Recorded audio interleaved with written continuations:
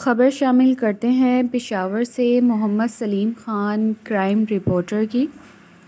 पेशावर के इलाका कूची बाज़ार में नामालूम अफराद की फायरिंग से एक शख्स हलाक।